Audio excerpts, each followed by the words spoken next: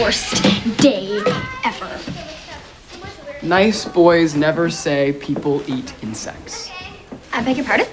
It's a mnemonic device. It helps you remember things, right? That's uh, the Maritimes. New Brunswick, Nova Scotia, PEI. Nice boys. Diana, could you please tell Gilbert Blythe that I don't need his help? Why don't you just tell me yourself? I'm right here. I suppose I just did. Mnemonics is spelled with an M. Not that you need my help or anything. Have a good weekend. You too.